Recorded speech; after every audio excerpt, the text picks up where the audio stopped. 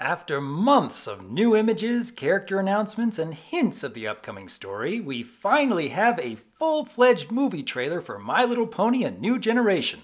I've been eager to see this film for quite a while now, as every new instance of the animation becomes all the more impressive.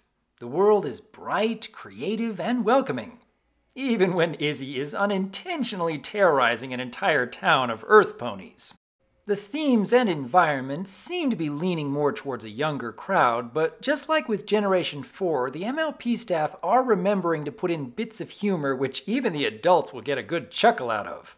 The story beats are following pretty close to what we've been expecting given the film synopsis that came out months ago, but I do appreciate that there are darker undertones if you take a closer look in the background.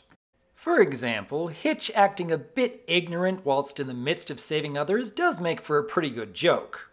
But if you take a look behind him here, there's a rather imposing poster which shows that Earth ponies being afraid of Pegasi have become part of their culture. I'm rather curious to see just how deep the levels of propaganda go within all three societies. I mean, just as we had been predicting from a long while back, each of the main five are being disguised as unicorns before venturing into the forest city of Bridlewood. So inevitably there's going to have to be a point where Sunny is exposed as an Earth pony. And I have to wonder whether there's going to be a similar reaction as to what happened with Izzy, or if there's going to be a more aggressive, even outright hostile response. More likely the former, as this film does seem to be leaning more towards a light-hearted story, but I'm noticing that there's very little focus in the trailer on the previous generation's influence.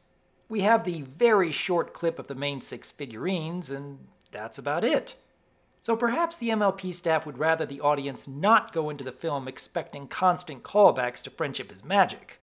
But then again, we do know from previous material that Sunny is fascinated by the stories of the main six from ancient times, and thus it is rather likely we'd be seeing her using those stories to help inspire those she comes across in the film. One other thing that I very much appreciate is the continued dedication to showing how ponies would create the same kinds of devices that we've come to get used to in the modern world like an edition of Just Dance without the need of a television screen using a sliding wooden wheel instead.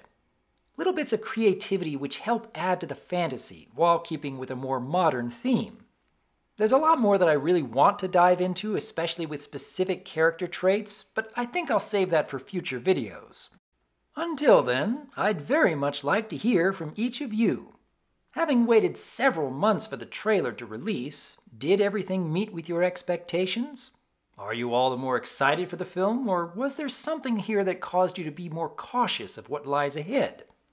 Leave your thoughts in the comments below, because as always, I am Dr. Wolf, and I look forward to hearing from you.